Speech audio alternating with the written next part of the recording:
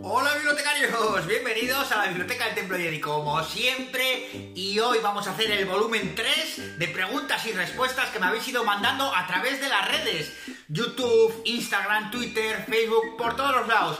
He ido recopilando vuestras preguntas y aquí os las voy a contestar. Vamos allá con el vídeo.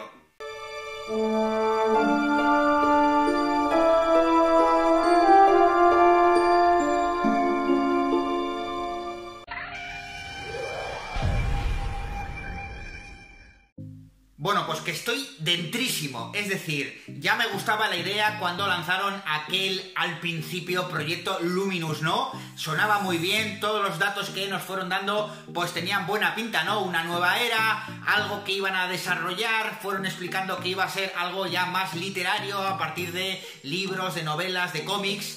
Y bueno, ya cuando sacaron eh, toda la información que se iba a llamar The High Republic, la Alta República, eh, los autores que estaban, que se habían reunido reunido en el rancho Skywalker, todo lo que más o menos nos fueron dando, ¿no? Esas pinceladas. Y bueno, y ya cuando salió la novela y me he puesto a leerla y he leído todo lo que ha salido hasta ahora, es decir, dos novelas, comenzando con esta Light of the Jedi, que es magistral, y A Test of Courage de eh, Justina Ireland, que ya es más eh, para el público juvenil. Y luego una serie de cómics que ha empezado con el número uno. Bueno, pues esta novela de verdad de lo mejor que he leído en los últimos años. De hecho, yo os diría que está en mi top 3 de novelas canon y una de las mejores novelas de Star Wars que he leído nunca. Fue empezar a leerla y de verdad un sentimiento, salvando las distancias, porque yo, digámoslo así, eh, empecé con esto de Star Wars literario, con la saga eh, de la nueva Orden Jedi, ¿no? Pero salvando las distancias, una sensación parecida de estar leyendo algo nuevo, algo novedoso, algo que está muy bien y diferente a todo lo demás. Así que, ¿qué puedo deciros? Pues que sin duda con unas ganas locas de que llegue aquí a España. Planeta Comics ya lo ha anunciado. En marzo nos llega la novela juvenil de Justina. Y en abril, abril o mayo nos llega esta. La luz de los Jedi, de Charles Soule. Así que bueno, yo solo os puedo decir que yo estoy muy dentro, que os lo recomiendo muchísimo, darle una oportunidad porque no os va a defraudar y hay cositas y perlitas y, bueno, unas cosillas que han ido plantando y trayendo del antiguo canon, pues eh, muy chulas. Pues sí, ya es oficial, ya lo hicieron oficial a través de StarWars.com y de todos los canales habituales como Disney Plus, etcétera, que iba a haber una tercera temporada de Mandalorian bien, pero, pero esto, digámoslo así, es lo bueno y lo malo es que no va a salir este 2021, no, ya anunciaron que saldrá pues en primavera del 2022. ¿Por qué? La razón principal, porque este 2021, a finales, sobre noviembre, diciembre, todavía no sé exactamente qué fecha, sale una nueva serie, comienza, que es The Book of Boba Fett, el libro de Boba Fett. Sí, sí, lo que pudimos ver en el último episodio de Mandalorian al final. Si os quedasteis más allá de los créditos finales de las letras, se pone en negro la pantalla y de repente vemos dos soles, vemos Tatooine, vemos, bueno, pues cosas que nos recuerdan a nuestra infancia, al retorno del Jedi y vemos que pasa ahí algo con Boba Fett. Bueno, pues una nueva serie donde veremos a Boba Fett, a Ferek San y vete a saber qué veremos allí, pero me parece que va a ser de locura. Así que sí, de Mandalorian, tercera temporada, pero 2022. Bueno, pues la verdad es que no, no me esperaba ninguno de ellos. Evidentemente, según empezó la segunda temporada y empezamos a saber que podían aparecer ciertos personajes y vimos la trama y cómo se iba desarrollando, pues sí, ¿no? ¿Cuándo? ¿Cuándo va a salir a Sokatano? Y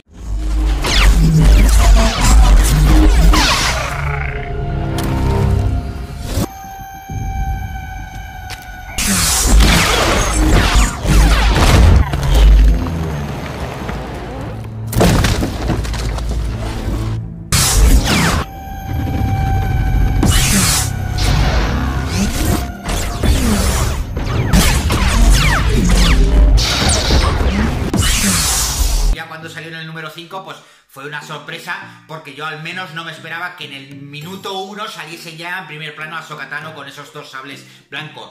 Y bueno, qué decir de Luke Skywalker. Una de las posibilidades después de la llamada de Grogu era que pudiera venir un Jedi, pero qué Jedi, no hay muchos. Podía venir uno desconocido, podía venir pues eh, alguno de los que ya conocíamos, por ejemplo, como de Reves o del videojuego Jedi Fallen Order pero no, Luke Skywalker. Así que si en parte al principio no lo sabía, luego más o menos se podía intuir que algo podía pasar, que podían aparecer, pero bueno, las dos apariciones fenomenales, fantásticas. Luke Skywalker, bueno, ¿qué os voy a decir? Simplemente de lo mejor que he visto de Star Wars en mi puñetera vida.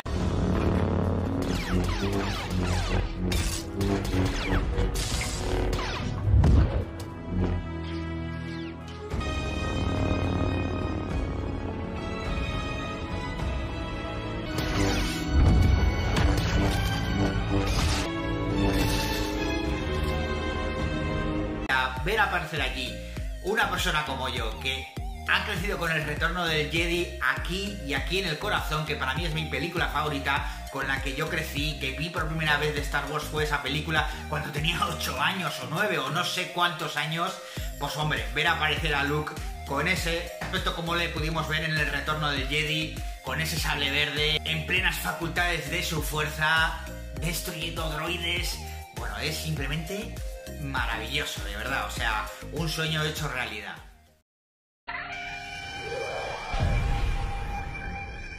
Buena pregunta, yo creo que es una pregunta que nos la hacemos todos. Posiblemente yo creo o espero que sí, pero en un futuro no cercano, es decir, quiero o espero que la serie se desarrolle un poquito más hacia el Mandaloriano, hacia otros temas, hacia otras historias que no sea solo Grogu y los Jedi. Así que, si bien quiero que por ahora no aparezca, sí que me gustaría saber más sobre él, que desarrollaran un poquito más, incluso en alguna otra serie. Imaginaros Luke Skywalker con la academia, creándola con Grogu, con otros alumnos. Maravilloso. Pero espero que sí, que en un futuro, en algún momento, crucen sus caminos y podamos volver a verlos, aunque sea dentro de varios años, en lo que sería en la intrahistoria, ¿no? Sería fantástico ver ese reencuentro. Pues me gustaría, no lo sé, porque no soy muy jugón, o al menos ya hace años que no lo soy. De hecho, no tengo ninguna de las últimas consolas. La última que tengo, fijaros, es la PlayStation 2 y la Wii. O sea, me quedé hace años parado. Pero puede ser que eh, con algún amigo, si, si se tercia, ¿no? Me eche unas partiditas. Bueno, esta creo que es fácil para todo el mundo y fácil que sepáis cuáles son mis gustos, ¿no? Las he dicho miles de veces. Por un lado, Imperio Oscuro, sin ninguna duda, es mi serie de cómic de leyendas favorita porque para mí fue una cosa que me reventó la cabeza, ¿no? Para mí era eh, la continuación del Retorno del Jedi, mi película favorita, ya lo sabéis. Entonces, aquello fue brutal. Ver a Luke Skywalker, ese ambiente eh, tétrico, oscuro, azulesco y amarillesco, verle interactuar y la vuelta del emperador, todas esas naves y armas brutales, toda esa lucha, bueno, sin duda lo mejor. Pero fuera de esto, a mí me gusta mucho Caballeros de la Antigua República, que se va bastantes años atrás, antes de la saga Skywalker, y Legado, que ocurre ciento y pico años después de Luke Skywalker, con el futuro de la Orden Jedi, de la República, del Imperio y un montón de cosas fabulosas, con unos nuevos Sith, donde ya no solo hay uno ni dos, hay muchísimos Sith. Y venga, os digo una tercera colección, Relatos Jedi. A mí me encanta, Actualmente hay dos ómnibus publicados por Planeta Comic, muy difíciles de conseguir porque se agotan y ya no los han reeditado. Esperemos que los reediten de vez en cuando. Y lo que se nos cuenta es la creación de los Sith y esa lucha contra los Jedi tres mil y pico años antes de la batalla de Yavin. Antiguos Jedi, antiguos Sith, maravilloso. Antes de que confirmaran 10 series nuevas de Star Wars, sin duda os diría que Obi-Wan Kenobi, porque me encanta el personaje, para mí es uno de los maestros Jedi eh, favoritos y me siempre me ha quedado esa cosita de saber qué hacía en Tatooine, qué le pasaba por la cabeza, ese corazón roto, si interactuaba con otros Jedi o iba por la galaxia o simplemente se quedaba allí en Tatooine. Porque de hecho, en el antiguo universo de leyendas teníamos una colección de novelas juveniles en las que veíamos pues al maestro Obi-Wan cómo aprendía con Qui-Gon Jinn y diferentes historias y teníamos incluso una novela de Obi-Wan estando en Tatooine en esa época. Pero después, con 10 series nuevas, incluyendo las que ya conocíamos como Cassian Andor o Obi-Wan Kenobi, sin duda, si me tengo que quedar con dos más, por un lado, Ahsoka, porque me encanta el personaje y creo que va a tirar por una historia que espero que sea así, porque ¿qué es lo que pregunta Ahsoka en la serie de Mandalorian? ¿Dónde está Thrawn? O sea, como tire por ese lado a buscar a Ezra, a buscar a Thrawn y todo eso, pues para mí sería un sueño hecho realidad, ¿no? ¿Qué ocurre con Thrawn? Uno de mis personajes, uno de mis tres personajes favoritos. Y por otro lado, sin duda, la serie de Acolyte, el acólito, porque va a estar situada sobre la Alta República o al final de la Alta República, unos 200 o 150 años antes de la saga de los Skywalker, y va a tener que ver un poquito con pues el lado oscuro, con esa lucha que está en aquella época en la galaxia, época de luz, de expansión, o ya veremos a ver qué es lo que pasa. Me intriga muchísimo.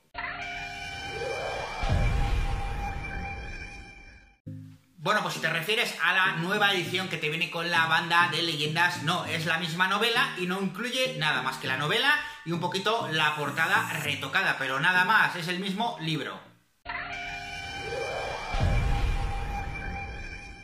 ¿Y a quién no? Me encantaría, es decir, fijaros lo que tengo aquí, es decir, yo soy un loco de los libros, así que novelizaciones me encantan siempre y cuando estén desarrolladas bien, es decir, que expandan un poquito lo que vemos en las películas.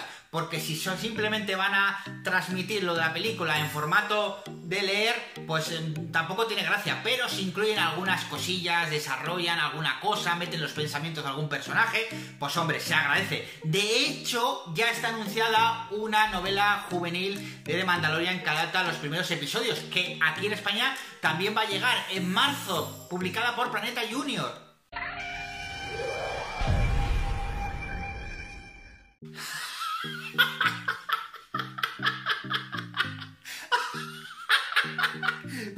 ¿Me lo, preguntas en serio?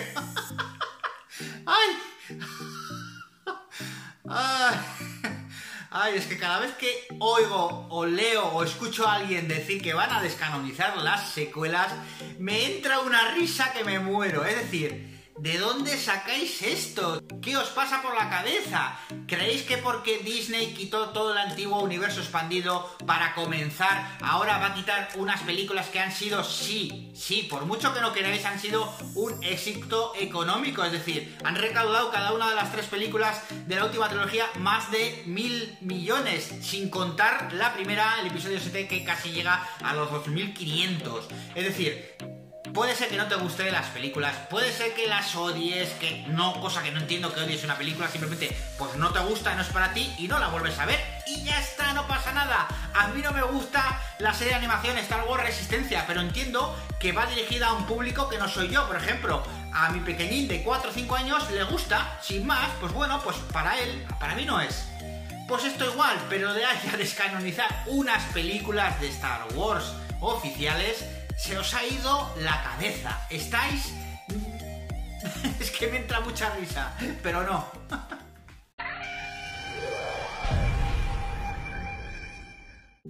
En algún momento me lo he planteado, pero no. Muchas veces he ido contando, pero me acabo por cansar.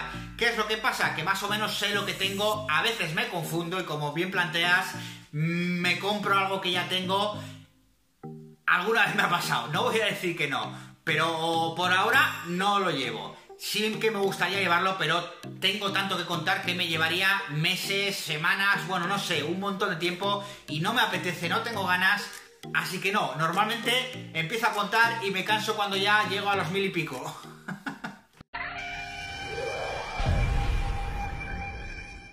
Yo soy un Jedi como mi padre, antes que yo.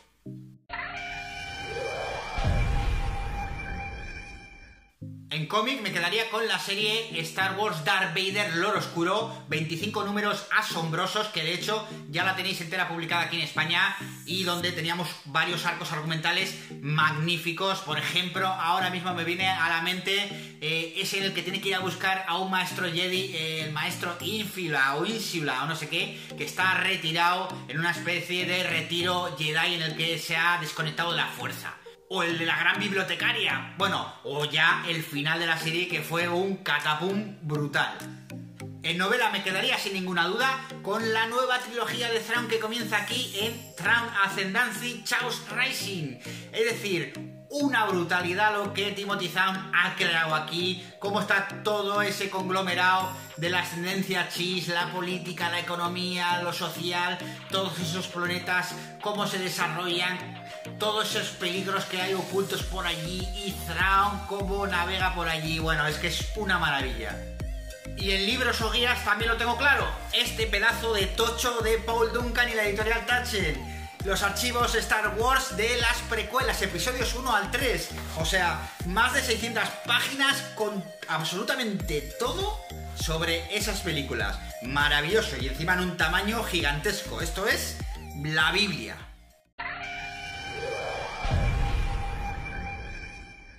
Pues creo que aquí vamos a coincidir la gran mayoría. El último capítulo de la segunda temporada es mi favorito, pero sin ninguna duda. Y eso que el quinto, el de Ahsoka, me encantó y pensaba que no iba a poder ver algo mejor que eso. Pero llega el último capítulo con la aparición de Luke Skywalker, con la despedida entre Grogu y el mando y con ese final, ese... Bueno, es que sin palabras, es decir, eso es maravilla para los fans de Star Wars. Bueno, pues si te refieres al canal de Star Wars oficial, a mí me ha encantado el vídeo con el tráiler de la Alta República. Tanto la música como las imágenes animadas que han puesto, como lo que dice, me parece brutal. We are the guardians of peace and justice. Beyond the stars is a near endless frontier. Our order was meant to shine its light in even the darkest corners of the galaxy. Si te refieres a mi propio canal, bueno, pues aquí ya es más complicado, no sabría qué decirte. Me gustan mis vídeos, algunos más que otros. Pero si me tengo que quedar con uno, vamos a ver cuál me quedaría. ¿Qué más da? ¿Cuál os ha gustado a vosotros? Dejármelo en los comentarios, eso es más importante que cuál me guste a mí más. Pues como todos los años, disfrutar de Star Wars, seguir con salud, con amor, con dinero, que nos lleguen cositas de Star Wars que sean buenas, que nos gusten, disfrutar de ellas, que para mí no es difícil porque intento disfrutar de todo lo que va saliendo. Y nos esperan cositas grandes, por ejemplo, como la serie de animación de The Bad Batch o al final de año como la nueva serie sobre Boba Fett, el libro de Boba Fett. No solo esto, la Alta República en novelas, en cómics, en guías y una nueva entrega de la nueva trilogía de novelas de Thrawn. Bueno, y eso solo para comenzar, así que un año fantástico. En lo que respecta a mí y a la Biblioteca del Templo Jedi, bueno, pues también, también tenemos proyectos esperando. Por ejemplo, acabamos de publicar la segunda antología de relatos cortos Soñando con Galaxias muy lejanas, volumen 2, pero queremos sacar el volumen 3. Y no solo esto, seguramente también llegue el volumen 3 de los archivos de la Biblioteca Jedi, ya sabéis, el libro en el que recopilo pues todas las novedades año a año de cómics, de libros, de revistas en el mundo. Y, y, no será lo último, hay cosillas, ya sabéis que hace poquito que tenemos una página web, la biblioteca del Templo Jedi, esta que sale aquí, .com, y en ella pues estamos poquito a poco pues poniéndonos en marcha, poniéndonos a tope, perfilando el equipazo que allí escribe y haciendo guías, noticias, artículos de todo tipo de cosas y entrevistas en el canal. Y bueno, no puedo decir más. Si las series son buenas, no. Es decir, mm, no es cuestión que saquen 20 series al año, cosa que no va a pasar. Pero si nos sacan dos, tres series en diferentes momentos, ¿no? Que no vayan muy seguidas, que dejen un espacio para respirar, me parece que puede ser brutal el efecto a nivel de fans de Star Wars. Es decir, acabamos de terminar de ver la segunda temporada. ¿No os apetece ver algo ya que llegase a alguna serie? Si está bien hecha, engancha y tiene su chispa, yo creo que puede ser maravilloso. Otra cosa es que empiecen a sacar pues cosas reguleras, ¿no? Que puede pasar. Esperemos que no, cruzo los dedos. Pero las historias que han dicho que van a traer tienen muy buena pinta. Los equipos que ya conocemos tienen muy buena pinta. Así que, bueno, vamos a tener esperanza. Si lo dice Leia, esperanza. Bueno, como ya sabéis todos los que coleccionáis, ya sea Star Wars o lo que sea, lo de reorganizar y jugar al conocido como Tetris con tu colección, pues es algo que no lo dejas nunca. Es decir, cada cierto tiempo tienes que ir reorganizando, recolocando, achicando, bueno, buscando sitio donde hay, ¿no? Donde se puede. Yo alguna vez he pensado de poner estanterías en el techo o incluso en el baño o en el frigorífico. Mm, ahí entraré unos cuantos libros, ¿eh? Eh, Vivi, ¿qué te va...?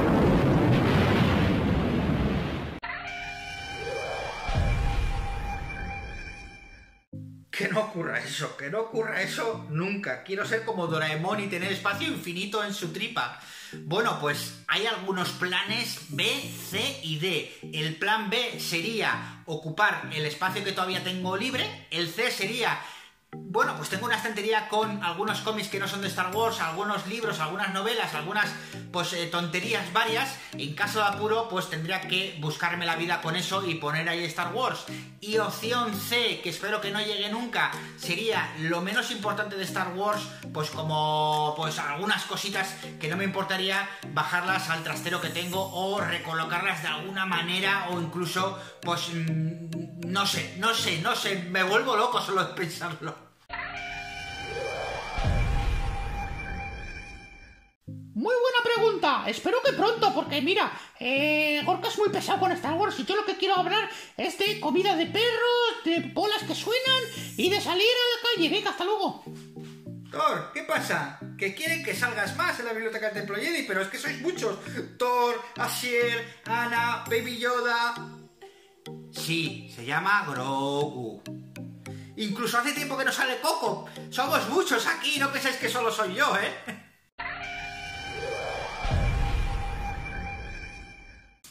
Esta pregunta es bastante difícil porque mm, creo que depende de la persona, de lo que le apetezca leer, de en qué momento de su vida se encuentre, si ha visto todas las películas, si conoce el antiguo universo expandido, si no... Mm, es complicado, pero mm, venga, me voy a liar la manta a la cabeza y os digo que dejando un poquito de lado el antiguo universo expandido, porque hay muchísimo y hay novelas grandísimas y muy buenas, yo, pues igual, suelo recomendar que se empiece con las novelas de Claudia Gray, sobre todo con Leia, Princesa de Alderaan, porque va un poquito eh, tiene que ver con las películas, con la trilogía original y Linaje, por ejemplo, o Estrellas Perdidas. También las novelas de Thrawn, o incluso, bueno, retomamos leyendas.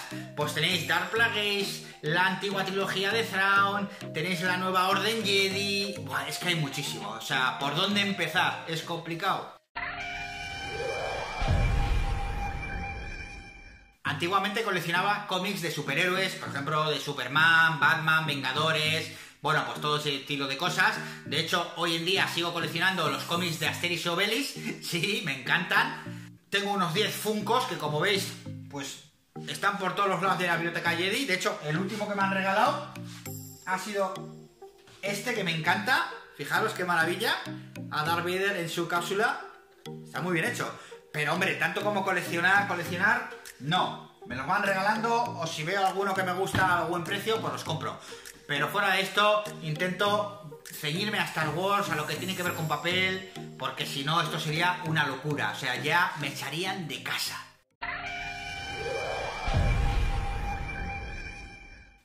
Pues francamente, ni idea. Es decir, ya os he dicho más de una vez que algunas veces me he puesto y me he planteado ponerme a contarlo y me pongo a contar uno a uno y empiezo por los libros, por novelas, tal, pero cuando llego a 600, 800 o a 1000 lo dejo porque me canso. Es decir, no sé, así a grandes rasgos, pues tendré 2000, 3000, por ahí no soy de las personas que más tiene. Por ejemplo, tenéis a Alonso Vilches allí en México, que tiene más de 4.000 libros, cómics y revistas de Star Wars.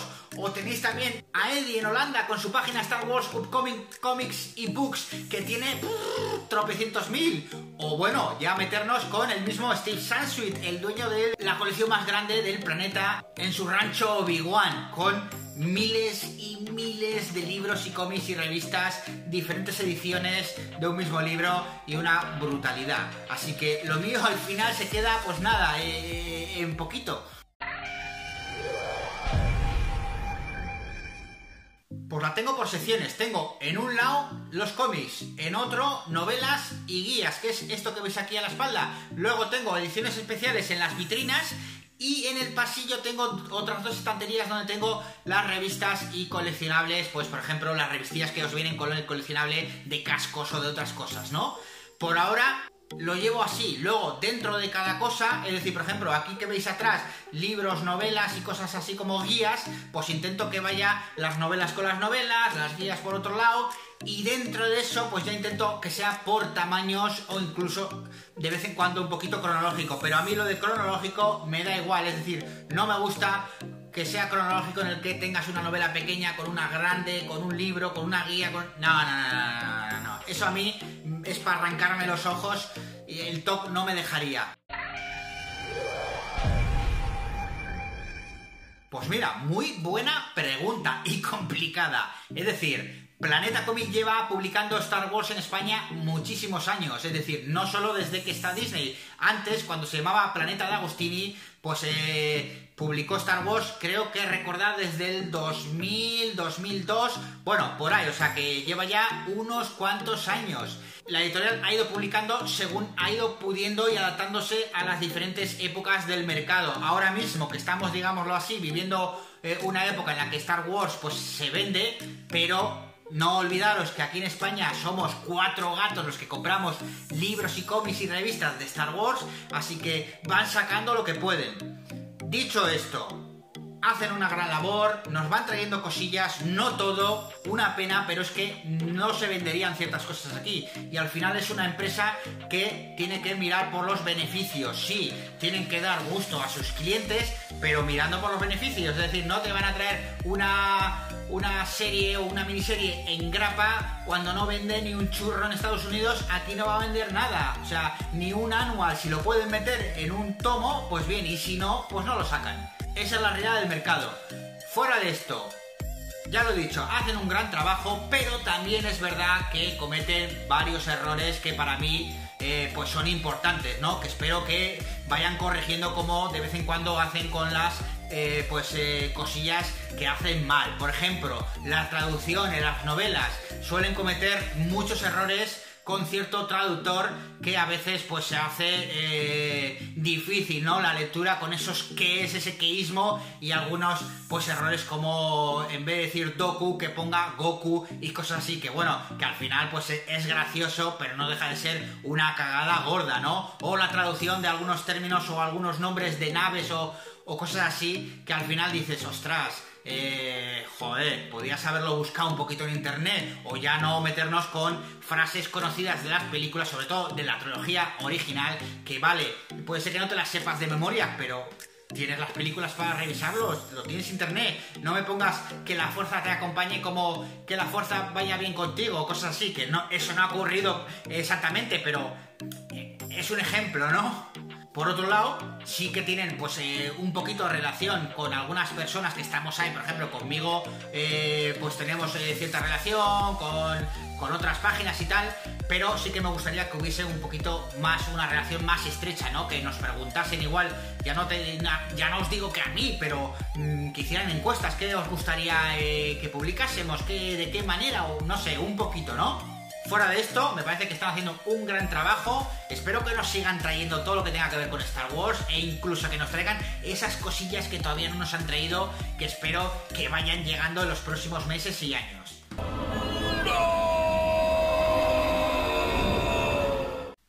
Y hasta aquí este volumen 3 de preguntas y respuestas. Casi me quedo sin voz. Madre mía, qué de preguntas y respuestas. Me lo habéis puesto difícil, ¿eh? Bueno, espero que os haya gustado. Si os ha gustado, darle un buen like, suscribiros y como siempre decimos, que la fuerza y la lectura os acompañen.